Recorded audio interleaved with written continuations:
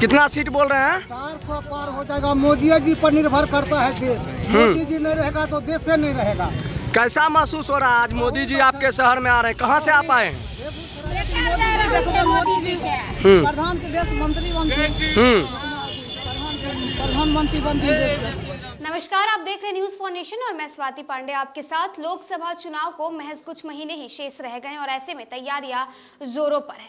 बता दें कि प्रधानमंत्री नरेंद्र मोदी आज एक दिवसीय दौरे पर बिहार में। बिहार के औरंगाबाद में उनकी रैली थी और अब बेगूसराय पहुँचे हैं प्रधानमंत्री नरेंद्र मोदी। वहाँ भी कई विकास परियोजनाओं का, योजनाओं का शिलान्यास और उद्घाटन होने जा रहा है।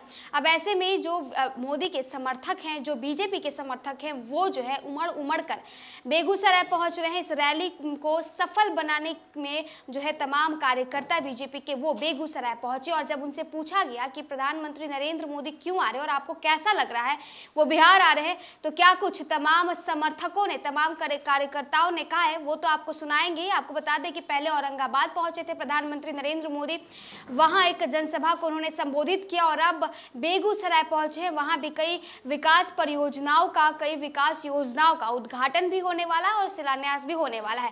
प्रधानमंत्री नरेंद्र मोदी के साथ बिहार के मुख्यमंत्री नीतीश कुमार भी हैं और साथ ही साथ बिहार के डिप्टी सीएम सम्राट चौधरी भी है। आपको सुनवाते हैं क्या कुछ तमाम कार्यकर्ताओं का और बीजेपी के समर्थकों का कहना है। महाराष्ट्र में पंद्रह हज़ार तीन सौ करोड़ रुपए की लागत से बारह परियोजनाओं के साथ किया जा रहा है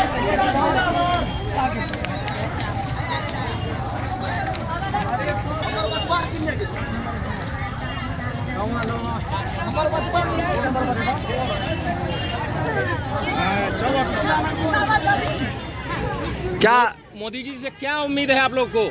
क्या उम्मीद है? यही उम्मीद है कि फिर सरकार बनेगा कितने सीट मोदी जी लाएँगे अब आप लोग के अनुसार? चार सौ पार हो जाएगा चार सौ पार। कितना सीट बोल रहे हैं? चार सौ पार हो जाएगा। मोदी जी पर निर्भर करता है देश। मोदी जी नहीं रहेगा तो देश से नहीं रहेगा। कैसा महसूस हो रहा है? आज मोदी जी आपके शहर में आ रहे हैं। कहाँ से आप आए हैं? बेगूसराय जिला से आए हुए हैं। बखरी अनुमंडल है। अच्छा। हाँ, और मोदी जी पर देश भी चल रहा है। क्या नाम हुआ आपका? रंजन कुमार नाम हुआ। मोदी जी चार सौ पार हो जाएगा इस बार। मोदी जी के देखे कि मोदी जी की मैंने कहाँ से लिए हैं अपने? कोरिया से। हाँ। अच्छा। की की बुझबे है? मोदी जी के की देथिन? देखे मोदी जी जी देखो के हम्म प्रधान के। देश मंत्री बनते हम्म। प्रधान प्रधानमंत्री बनते क्या आप लोग इस बार वोटिंग करके उनको फिर सरकार बना रहे हैं? सरकार बना Thank